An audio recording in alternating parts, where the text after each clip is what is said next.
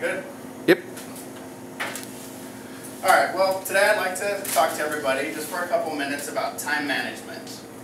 Um, does anyone, everyone close your eyes for one second and think about something that you would like to do every day, but you never have time to do. Y'all got it? All right. Now, wouldn't it be nice if you could do that every day?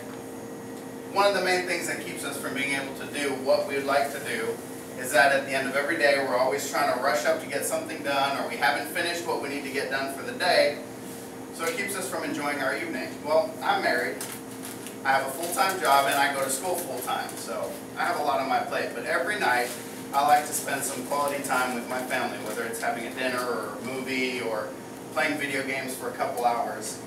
So it takes a lot of planning to be able to get those things done. So I'm going to here share with you a couple of points about time management and things that you can do to help get things going. The first point, the first step to time management is to um, plan your day. So you got to sit down and you've got to take the time to plan out every minute of the day, okay? And that starts from you plan what you have to do, you plan uh, this, you plan your breaks, you plan uh, time for stuff to happen, for mistakes that come up, um, and you go through your day and you write out everything that you need to get done for the day. Then you prioritize what you need to get done and in what order. So the important things you get done first and so on and so forth. And if you do this in a very detailed way, even though it feels like you're wasting a whole bunch of time planning, in the long run you'll save time by getting things done. And the next part of the plan is to ask yourself, you know, at the end of every day, am I getting everything done that I need to get done? Or am I cramming to get stuff accomplished? Am I not being able to get done what I need to get done? And if the answer is yes, then you're in need for time management techniques. After you've planned out your entire day and you've taken care of everything, given yourself time for any mistakes that may come up or uh, combining all of your jobs into one if you're going to go to the doctor and then you've got to go to the gym and then you need to go shopping. Instead of taking three individual trips you take one trip.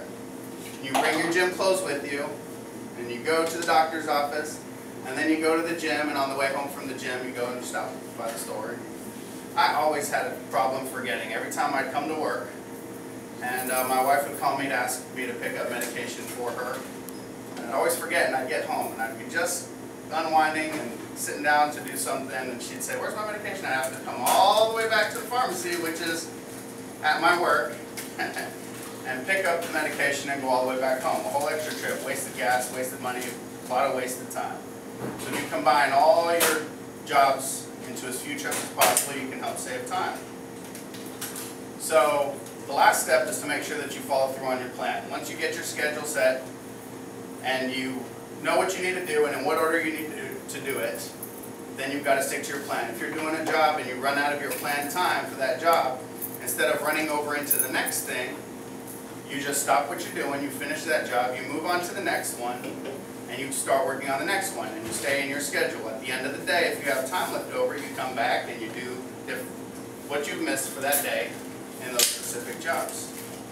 So, basic moral of the story is, that to get everything done that you need to get done or you want to get done, you've always got to make sure that you plan ahead of time, make a schedule, and uh, stick to the plan to get it done. All right.